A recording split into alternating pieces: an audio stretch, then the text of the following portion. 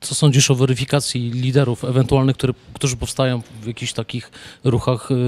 nie wiem, ludzi zbuntowanych, którym się coś nie podoba? Czy uważasz, że powinno te, te takie masy, które są na dole, y, powinny patrzeć jednak na ręce swojemu liderowi, którego wy,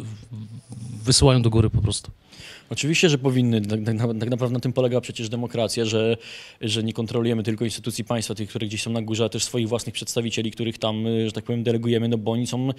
znów, znów pełnią tak naprawdę y, pewnego, pewnego rodzaju rolę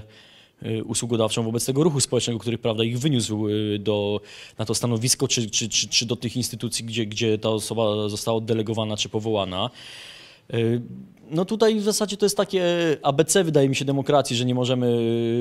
y, czy nie powinno się czegoś takiego odpuszczać, dlatego że to g- grozi takim, mówiąc brutalnie, zdegenerowaniem takiego człowieka. Jest tyle pokus, prawda, czy finansowych, czy, czy związanych z różnego rodzaju koneksjami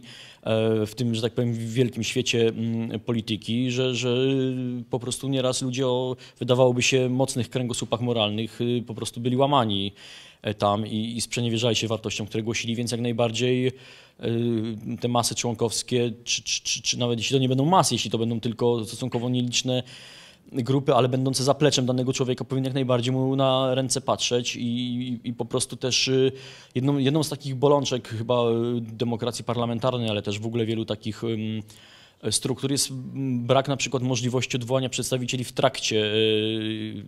kadencji, dajmy na to, czy jakiegoś tam okresu takiego, w którym, w którym sprawa, w którym on pewne sprawy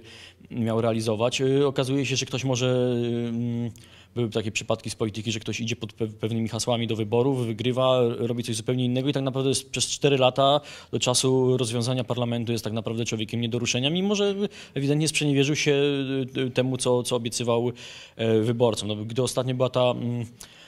ta e, debata do- do- dotycząca podnoszenia e, wieku emerytalnego, no to e,